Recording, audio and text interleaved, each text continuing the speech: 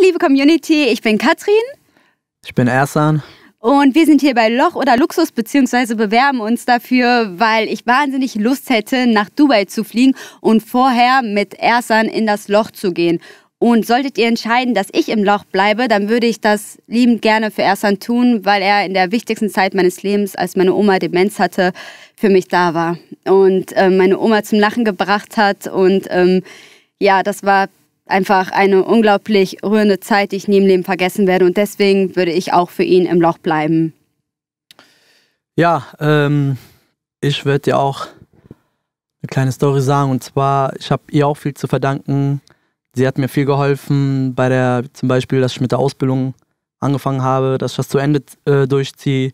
Und äh, sie stand immer hinter mir. Sie hat mir viel geholfen. Ohne sie hätte ich das nicht gepackt.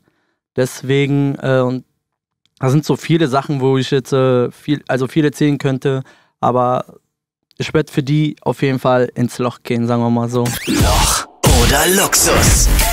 Du bekommst, was du verdienst.